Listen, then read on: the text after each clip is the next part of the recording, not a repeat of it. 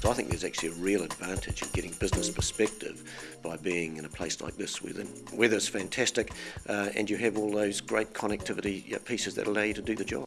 Nelson's what I think is the ideal place to bring up children um, from an educational point of view.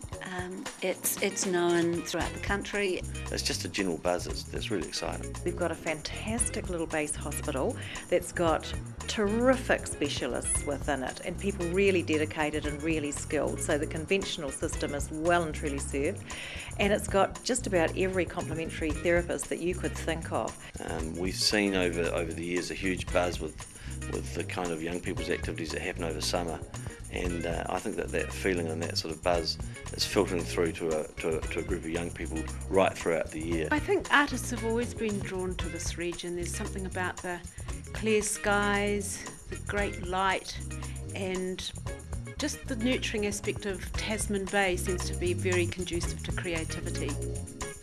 I mean, it's just such a, an open, beautiful place, and there's nothing you can't do here. I mean, there's football, basketball, rugby, there's individual sports, cycling's huge here. There's nothing you can't do within the Tasman region.